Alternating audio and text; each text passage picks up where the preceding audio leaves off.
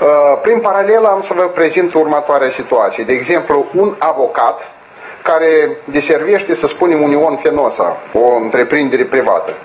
În asemenea circunstanță, și Union Fenosa are dreptul să nu dezvăluie informațiile cu privire la onorarele avocatului și avocatul are dreptul să-și păstreze informația respectivă. Alt caz, un avocat și Moldova Gaz. Cunoașteți despre ce vorbesc eu.